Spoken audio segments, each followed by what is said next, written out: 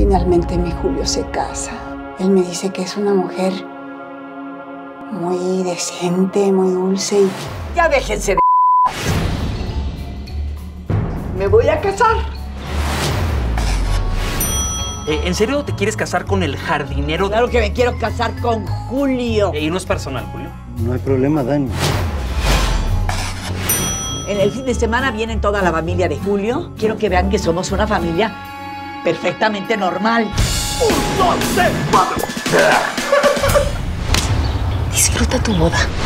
¿Y estas fotos? Las recorté de una revista, pero están todos sonrientes. Dan mejor impresión, ¿no crees? Hola, ma. Hijito. Mira, ma.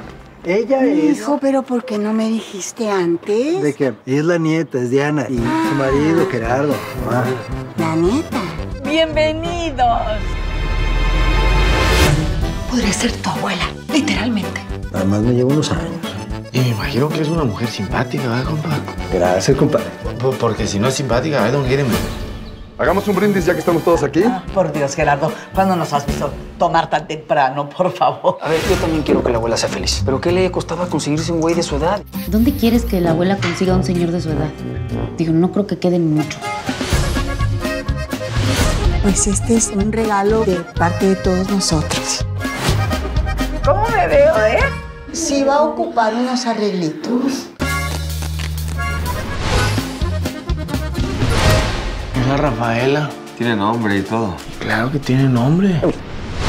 Son unos rancheros resentidos. ¿Estás seguro que este es el tipo de familia con el que quieres emparentar? Deja de verla porque pasa tu tía abuela. Somos un total desastre. ¿Y ahora qué pasó? Ah, pero buenas personas. ¿Se dieron cuenta cómo estaba bien contentote mi compa? ¿Eh? Bendigo motherfucker, ¿eh? Perdón, madrina, no, no, no lo digo por usted, digo.